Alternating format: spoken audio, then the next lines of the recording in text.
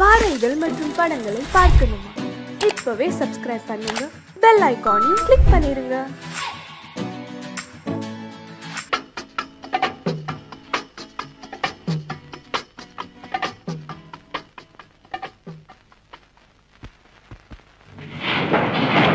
என்னடா சீட் போடு சீக்கிரம். துறை இனிமே அந்த வீட்டு பக்கமே தலை காட்ட மாட்டான் இனிமே நீங்க வச்சதாங்க சட்டம். முந்தி இருந்த விட இப்பதான் உங்களுக்கு செல்வாக்கு அதிகம். அதெல்லாம் சரிதான். இருளாண்டி அந்த முருகன் விஷயம் என்ன? நானும் எவ்வளவோ முயற்சி பண்ணி பாக்குறேன் அவன் என் கையில கிடைக்க மாட்டேங்கிறாஜமா ஏன் சமா சும்மா முருகனை ஏன் நம்ம தேடிட்டே இருக்கீங்க? அவன் கிடைச்சான்னா என்னுடைய பத்து லட்சமும் கிடைச்ச மாதிரி. எனக்கு சேர வேண்டிய தொகையை தராது அந்த சோமநாதை ஏமாத்திட்டான். அதுக்கு நல்ல பலனை அடைஞ்சான் என்னுடைய பணத்துக்காக அந்த குடும்பத்தையே ஒழிச்சு கட்டவன் நான் தயாராயிட்டேன். முருகனுக்கு இதுக்கு என்ன சும்மா சம்பந்தம்? மடையா? முருகன் சோமநாதனின் கையாளா இருந்தவன். அவனுக்கு தெரியாம சோமநாதன் பணத்தை மறைச்சு வச்சிருக்க முடியாது. இந்த தடவை முருகனை கொண்டு வர வேற நம்ம கிட்ட கொடுங்க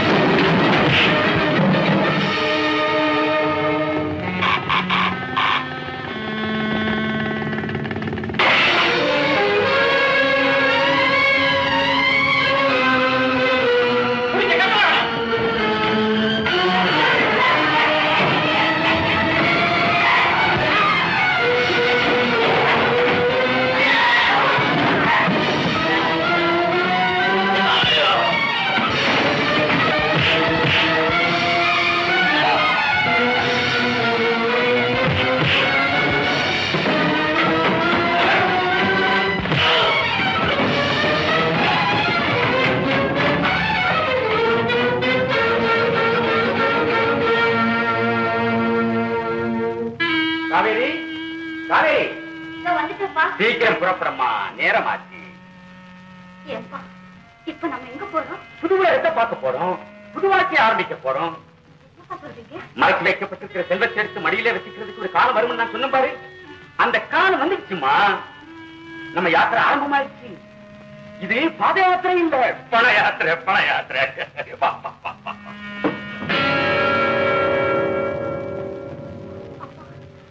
எனக்கு என்னவோ பயமா இருக்கு.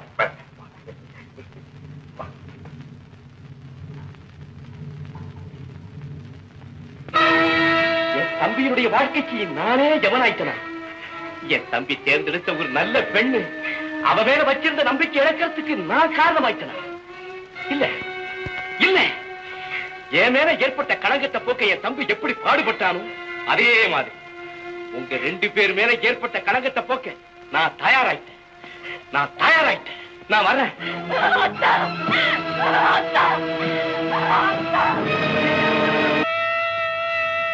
யாரு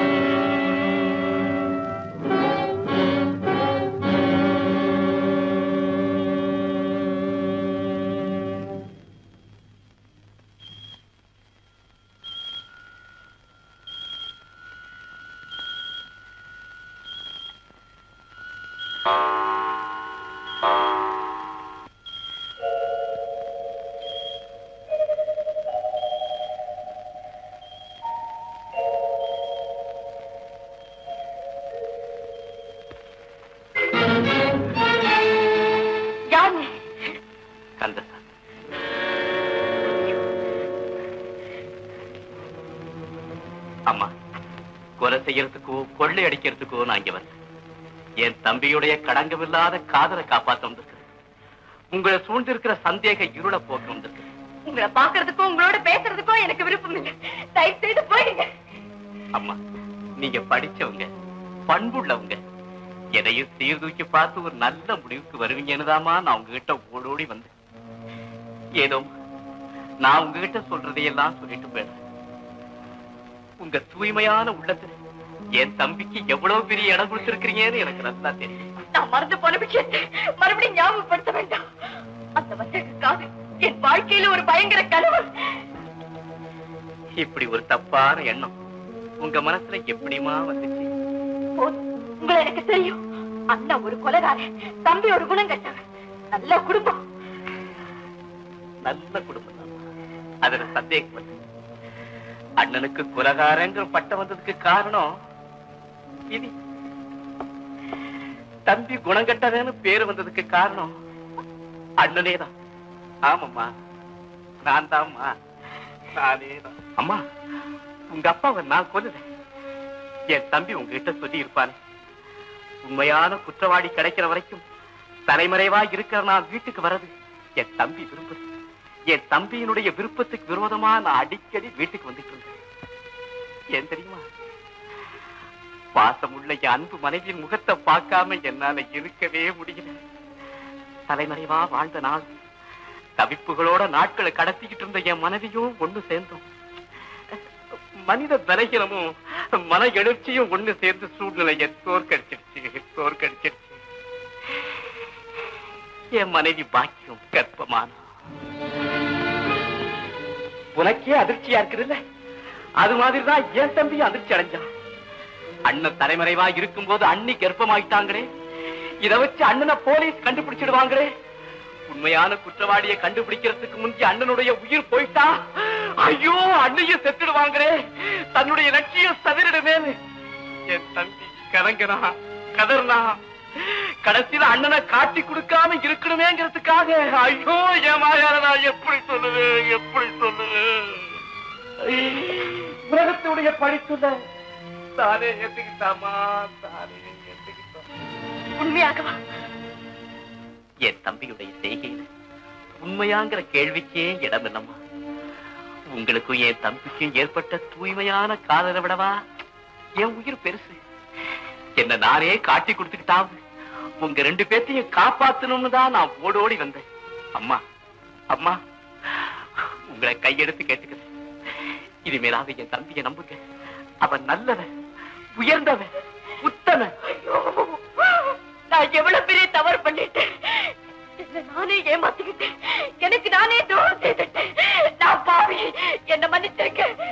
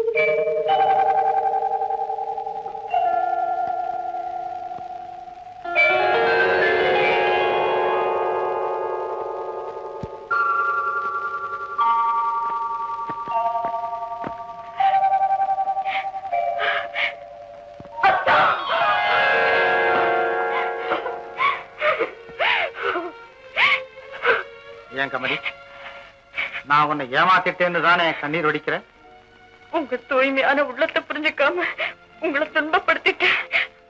உங்க அண்ணா வந்து எல்லா உண்மைகளையும் சொல்லிட்டாரு. என்ன? எங்க அண்ணன் இங்க வந்தாரா? ஆமா. அவர் வந்துதான் என் கண்ணை திறந்து வச்சாரு. அவர் தான் உங்க தியாகத்தை எடுத்து சொன்னார். அக்காவை பத்தி தவறா நினைச்ச என்ன? நீங்க தான் மன்னிக்கணும். நீங்க தான் மன்னிக்கணும். கமலி நடந்ததெல்லாம் நான் எப்போ மறந்துட்டேன். நீயும் மறந்து. என் அண்ணனை நான் வாழ வச்சு தீரணும் அதுக்கு நான் என்ன செய்யணும்? சொல்லுங்க. உங்க அப்பாவுடைய ரகசியரை நான் பார்க்கணுமே. இவ்வளவுதானே? வாங்க.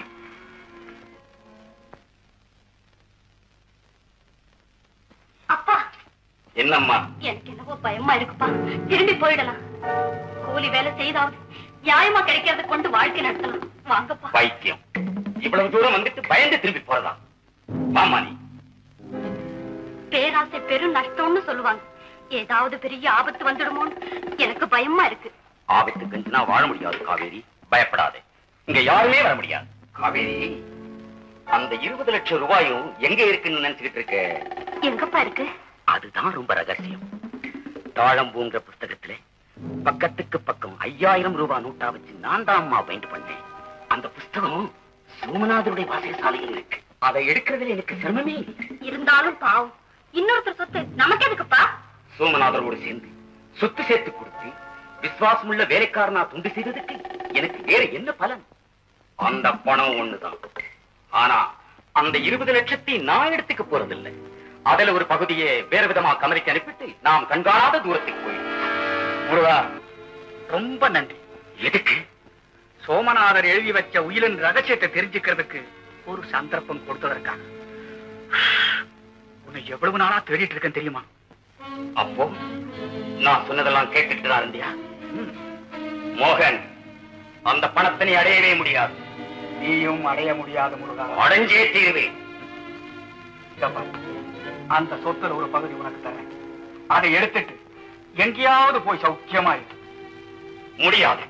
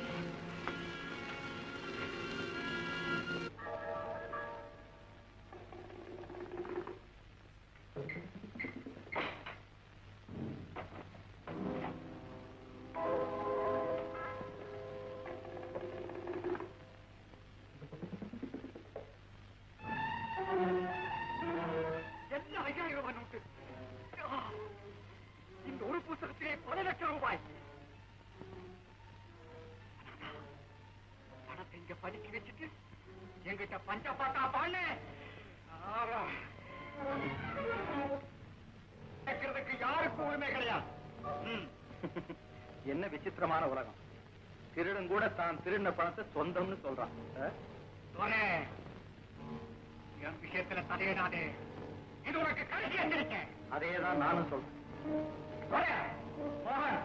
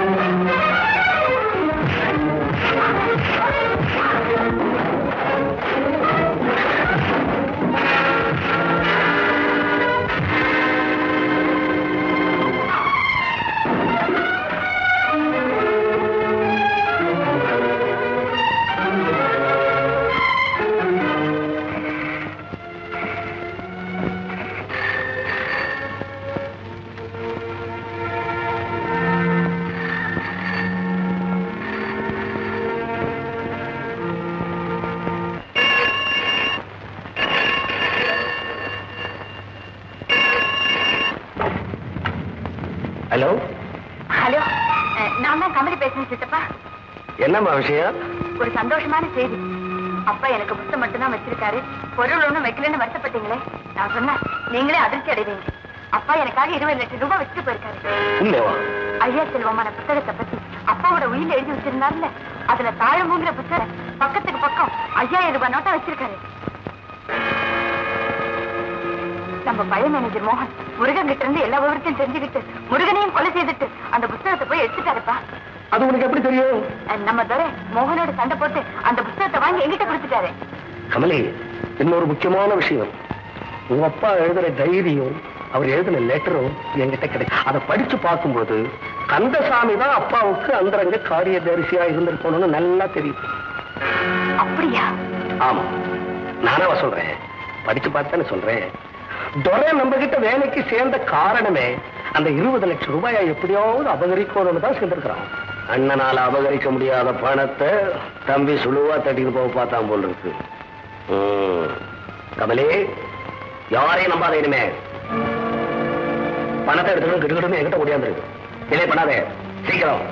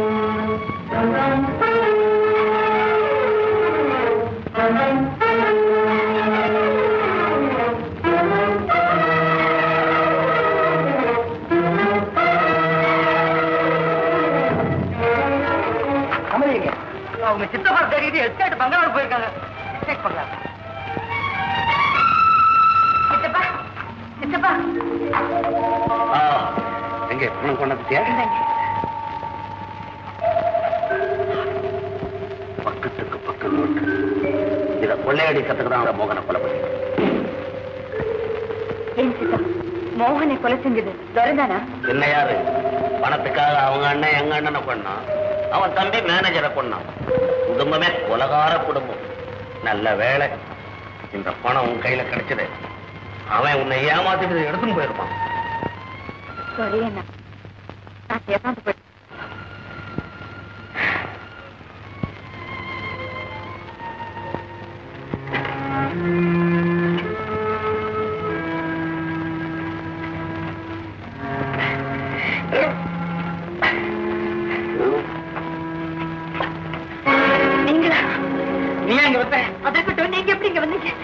கட்டி போட்டது சித்தப்பா சித்தப்பா.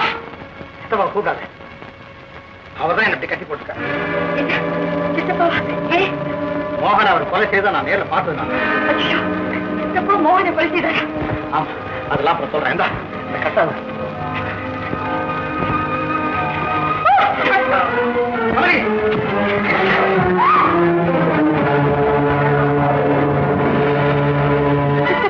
சித்தப்பா. என்னடா பசு மாதிரி இருந்தவன் இன்னைக்கு புலி மாதிரி ஆயிட்டானேன்னு பாக்குறியா? என்னைக்குமே நான் புலிதான்? பணம் தடையத்துக்கு பசு மாதிரி நடிச்சேன் பணம் வந்தாச்சு. புலி ஆயிட்டேன் மோகனுடைய ரத்தத்தை குடிச்சிட்டு வந்து நிக்கிறேன். சொல்றத பார்த்தா அப்பாவுடைய கொலைக்கு கூட. நல்லா ஸ்டாலின் உங்ககிட்ட உண்மையை சொல்றதுல எனக்கு என்ன பயம்? என்ன டிஎஸ்பியா டிஸ்பியா ஐடியா டிஎஸ்பியா ஒப்பனை நான் தான் யார்? உங்க அப்ப அரக்காசை எல்லாமே நம்பு ஆக்கிட்டான். அதே நேரத்துல அத்தனை பணத்துக்கு நான் அதிபதி ஆகணும்னு திட்டம் போட்டுதான் உங்க அப்பனை தீர்த்து கட்டினேன். உனக்கு கொஞ்சம் கூட ரத்த பாசமே இல்லையா? ரத்தமாவது பாசமாவது. எனக்கு வேண்டியது பணம் ஒண்ணுதான். அதுக்காக உங்க அப்பனை மட்டுமில்ல எங்க அப்பனா இருந்தாலும் கொல்லுவேன். நான் இந்த இடத்தை விட்டு வெளியேற வரைக்கும் சத்தம் போடக்கூடாது. சுட்டு கொண்டுடுவேன் இவளை அந்த அறையில கட்டி வை. என்ன சித்தப்பா? போ.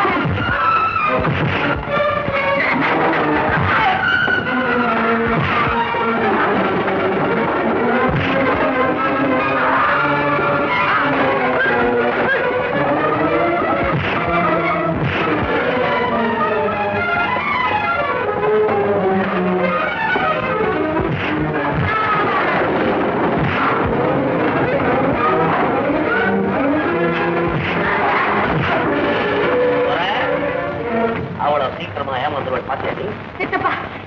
கமலே கொலை செய்யறதுக்கு நான் அஞ்சரை வரல. அது உனக்கு நல்லா தெரியும். நான் இந்த ஊரை விட்டு போற வரைக்கும் நீங்க இந்த இடத்துக்கு போக கூடாது எனக்கு ஏதாவது இடையூறு செய்ய நினைச்சுங்க தொலைச்சு விடுவேன்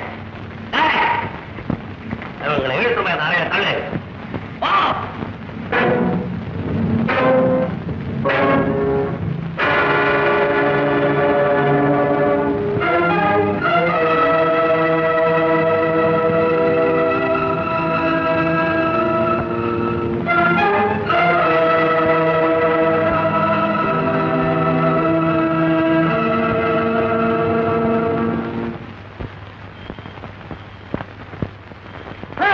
எனக்கு தெரியும் இது மாதிரி நடக்கும். அதனால தான் குறுக்க உட்காந்துருக்கேன் பொம்பளையா நீங்க உள்ள போறதுக்கு ஆம்பளையா வெளியே அக்காக்கு பெண் குழந்தை